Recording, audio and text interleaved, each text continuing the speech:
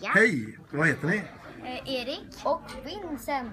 Och ni har hängt här i Digitalverkstan under våren och har, ni håller på med ett Scratch-projekt nu har jag förstått. Som ni inte riktigt är klara med. Men innan det som ni gjorde nu så hade ni gjort ett tidigare spel och vad heter det? Det heter Donut. Donut. Och vi har Donut här. Och hur funkar det då om ni skulle Ehm. provvisa det? Det, ehm, Hur funkar det? det, ehm, det faller donuts från himlen och han ska liksom försöka springa Så är det och också äta upp vinter. dem. Ah, så här man rör på figuren och ska fånga donutsarna. Da-da-da. Om de missar... Nu får du faktiskt visa hur de missar.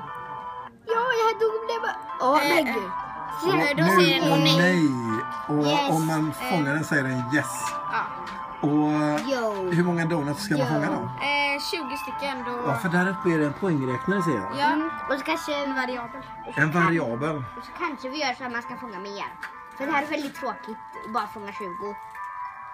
Ja, så kanske man kan fånga typ basketbollar som faller ner från himlen. Så, så, så kanske man har typ hälft och så. Och, och nu fångade ni 20. Om vi ska titta in i koden här under då, hur ser det ut Nej, men- inuti spelet? Ja, eh, då. Här är för Nano. Det är själva figuren. Ja. Och eh, Här har vi lite grejer liksom. Där är det som spelar musiken liksom. Det som, bestäm- det som gör så att det börjar spela musik liksom. Mm. Och så är det lite donuts, Och gags, mojs. så finns det lite vad de säger och... hur de rör på sig och sådär. Ja. Hur eh, lång tid tog det att göra det här spelet då? Typ en halvtimme. En halvtimme. Så kort tid för att göra allt det. Kanske lite mer. Kanske lite någon- mer. Ja, och så här är såklart donutsen script. Det Ja, godaste Just det, för man har, man har script för varje objekt som man gör. Hejdå. Eh, Och jag har inte ni har ju gjort mer saker i digitalverkstan än Scratch, eller hur? Vad, är det några andra saker som har varit särskilt roliga tycker ni? Ja, jag har det. Att programmera och sånt. Eh, det är för typ... Eh, Makey Make var roligt. Det var roligt. Att programmera ihop med Scratch och ut i det fysiska rummet. Och eh, vad mer har ni hållit på med? Eh,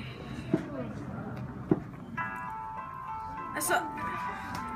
Nu får du Vad, faktiskt... vad, vad mer har ni hållit på med för någonting? Eh, vi har hållit på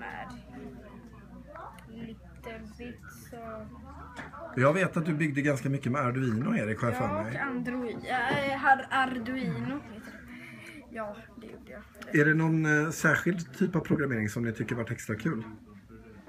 Jag tyckte nog Arduino var riktigt kul. Arduino var riktigt roligt. Är det så att ni har programmerat lite på hemmaplan också? Ja, detta spelet gjorde vi. Mycket på hemmaplan? Hemma hos mig. Ja, vad schysst. Så eh, det kanske blir mer programmering efter det här också för er del. Kul. Lycka till!